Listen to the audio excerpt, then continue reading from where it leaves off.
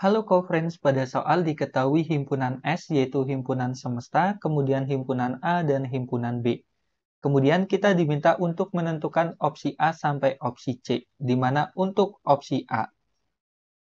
Himpunan A komplement. Kita ingat terlebih dahulu apa itu komplement di mana komplement dari suatu himpunan, kita misalkan himpunan P adalah himpunan yang anggota-anggotanya di dalam himpunan semesta yaitu S, dan bukan anggota himpunan P. Maka kita lihat pada anggota himpunan semesta, apakah anggotanya ada yang sama dengan anggota himpunan A? Ternyata ada, yaitu 1, 2, 3, dan 4. Maka kita peroleh untuk himpunan A komplement ini sama dengan kita lihat pada anggota himpunan S yang tidak kita coret, yaitu 5, 6, 7, 8, dan 9. Kemudian untuk opsi B, yang ditanya adalah himpunan B komplement.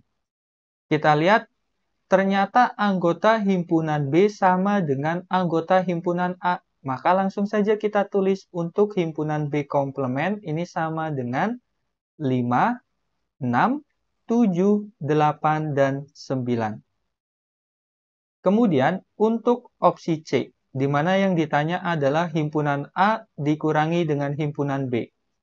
Kita ingat terlebih dahulu, di mana jika kita misalkan himpunan A dan, sorry, himpunan P dan himpunan Q, maka selisih himpunan P dan himpunan Q adalah himpunan yang anggotanya merupakan anggota himpunan P dan bukan anggota himpunan Q. Kita lihat ternyata anggota himpunan A sama dengan anggota himpunan B. Maka langsung saja kita tulis untuk himpunan A dikurangi dengan himpunan B ini sama dengan himpunan kosong.